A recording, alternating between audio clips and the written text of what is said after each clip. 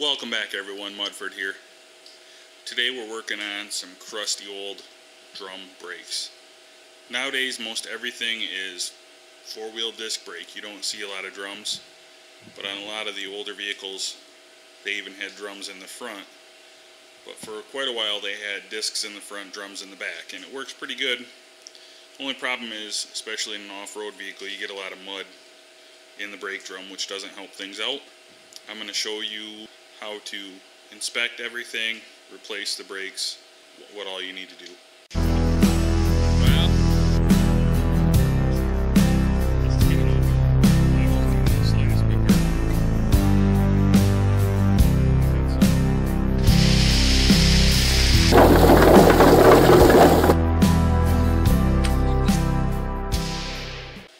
One of the biggest problems you can have is the drum is seized right on to the hub here and you might have to hit with a big hammer give it a hit or quite a few hits. And you might you might even have to take a oxygen acetylene torch and heat around here and around these while you're hitting it to get it to come loose. And then another problem you can have this off is if your if your drum has a lip on the edge here from being worn and your shoes are inside when you go to pull the drum off it'll catch that lip and won't come off. If you can't get your drum to come off what you're gonna have to do is on the back side on the backing plate near the bottom usually on all makes and models, you're going to have a rubber plug in here that will let you get to your self-adjuster. Once you pull that rubber plug out, you need to get some kind of a tool. You'll need to get some kind of a tool like this in through the backing plate. And you'll probably need to use a screwdriver to push this away like that. You'll need to turn the adjuster screw in to make it smaller and then when it's smaller the shoes will be able to fit out over the lip. So that's probably your first specialty tool you would need for working on drum brakes is the adjustment tool. Some sort of tool like this. I know they have different versions of it, different bends, whatever you prefer. The other tool that I use all the time is this. This end is for taking brakes apart this end is for when you're putting the springs back on. So we're going to pop the springs out. Before you take it apart, you can draw maybe a picture or take a picture of how things look so that you can get it back together the same way. Another, another good thing to do is only take apart one side at a time so that you can always go look at the other side if you forget. You can see my shoes are wore right down to the rivets, so it's time to replace these shoes at least.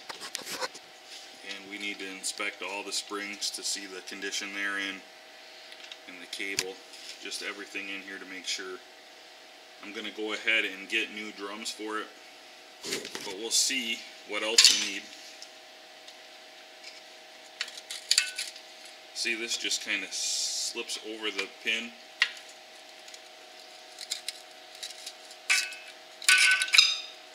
turn. Now I have the spring and the hook on here on the tool and then you just take it off the pin. So my springs don't really look that bad. My cable doesn't look too bad. My pins are alright.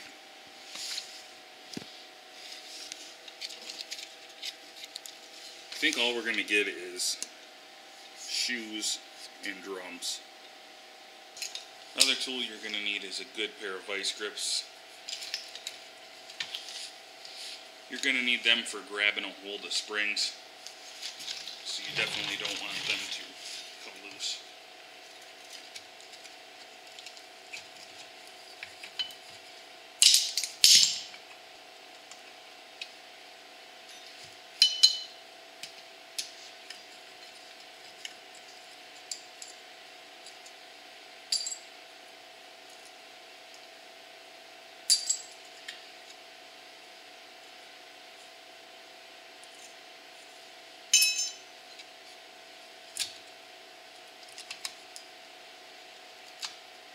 I'm getting everything out here and just inspecting it. As dirty as everything is, it's not real in real bad shape.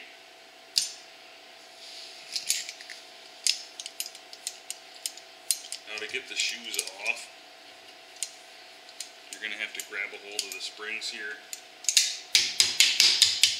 Make sure they're free. You gotta hold the pin on the backside.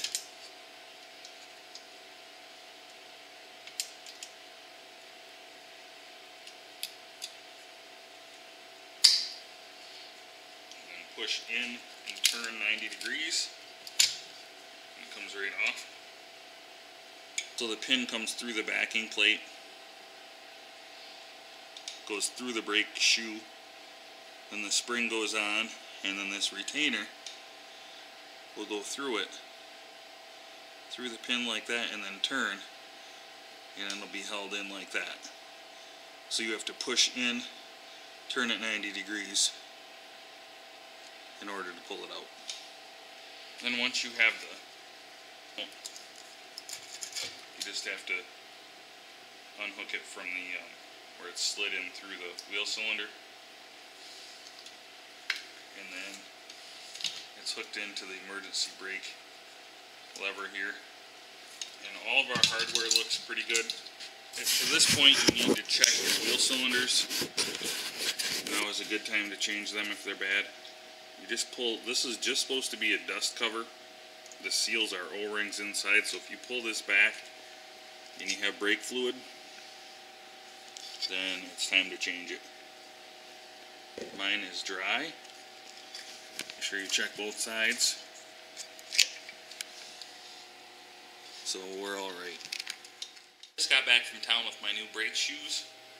I'm gonna go ahead and put them on. I'll show you just how easy it is. You're gonna kind of want to look on here because some of them have smaller shoes, and those are usually towards the front the vehicle and the bigger ones in the back. Um, these ones aren't like that. I'm going to go ahead and put the thinner one towards the front because one is not quite as thick. I'm going to put the thicker one towards the back. So you just put it in place, make sure you have the wheel cylinder lined up right. And we take our pin put it through the hole in the backing plate and our retainer here. I'm going to grab these with the vice grips or you can just use regular pliers. Get a hole, then you just push it on. Make sure it's turned 90 degrees from the slots and you're good. That one's on. On the other side you're going to have your brake, your parking brake. Just pop it loose out of the arm. It's probably a lot easier that way. So I'm going to go ahead and push my cable back.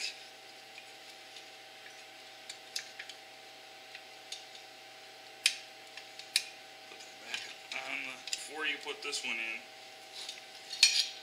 you're going to want to put your spreader bar on just the way it was.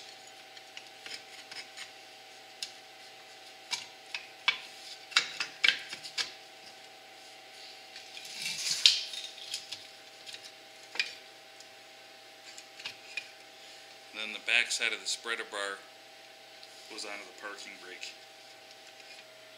We're going to put the pin through the backing plate, through the brake shoe. You can use regular pliers on it.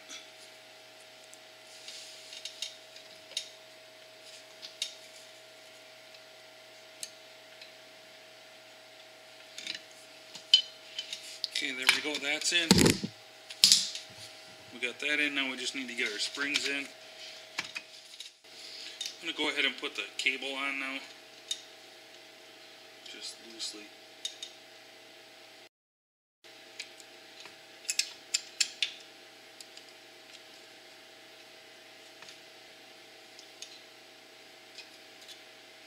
We need the cable on first up here.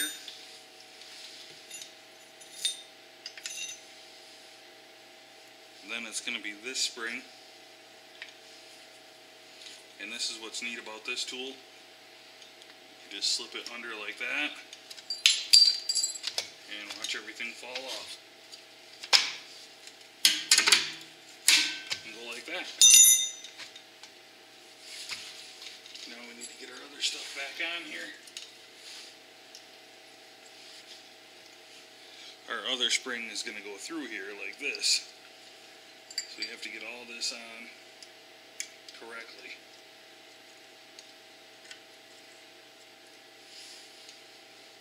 Okay, I've got everything correctly on here now. I'm going to go ahead and slip the top one on here.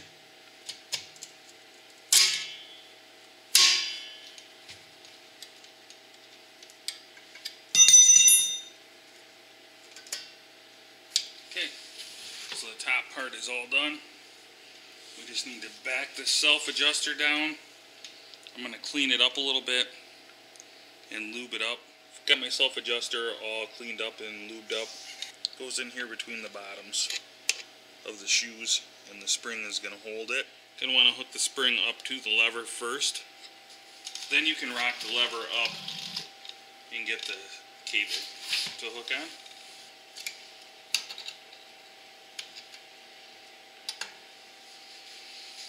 Then once you get your cable hooked, make sure your self adjuster is set as small as it can go.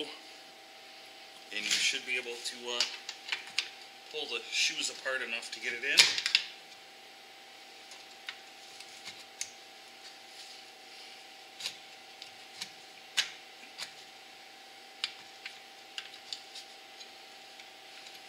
And once you've reached this point, you're all done. All you need to do is adjust your self-adjuster. A couple of quick things to note. If you're having trouble getting your drum off, make sure you don't hit right here with a hammer. This is a junkyard axle shaft that I put in, and you can see somebody whaled it right there. So my brake drum is not fitting over very good because it's mushroomed out. So you want to avoid that. Also, when you're putting it back together, it's probably a good idea to clean this up and maybe put a little bit of anti-seize right around the edge here. Well, I'm going to go ahead and deburr this now before I set my shoes. I just used this bit on my die grinder and just ran around until the drum fit on good. Adjust the brakes up now because it's hard. This has a full Detroit locker in it. So it's trying to turn the whole thing. So it turns pretty hard, but the brakes really are, aren't tight at all. Go ahead and get them adjusted up so they're close. Otherwise, if you don't adjust them up, it's going to take a lot of travel in your pedal to get them tight before you actually start braking. Actually, I'll just do it with the drum off and get it close.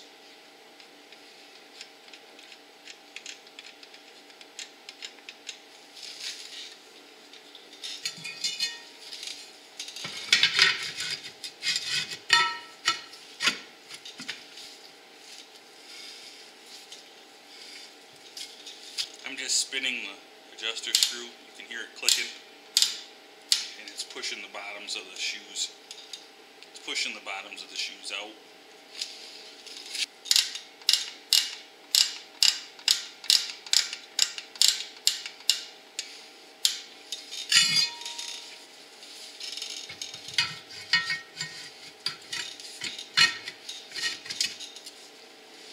We'll call that good right there. One more tip before you go on a test drive with this, first thing when you get in, make sure you pump the brake pedal and get the brakes out. Um, if you don't do that, it can be pretty dangerous. I went to a community college and we were working on brakes and a guy brought his wife's car in, did a brake job on it, and they also did some tune-up work on the engine and it was idling high as a result of that and he did not pump up his brakes. He opened the garage door, started it up, put it in reverse, and the car was idling really high. And he pushed down on the brake pedal and it went right to the floor.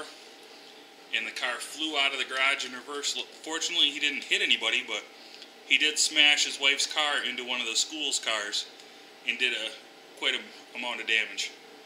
So always pump up your brakes after you've worked on them before you put your car in gear, before you even start it. It's a real good idea. So this side is all done. I'm going to go ahead and finish the other side and I'll be able to take it for a test drive. But should be stopping a lot better now. And it wasn't really that expensive to do it myself.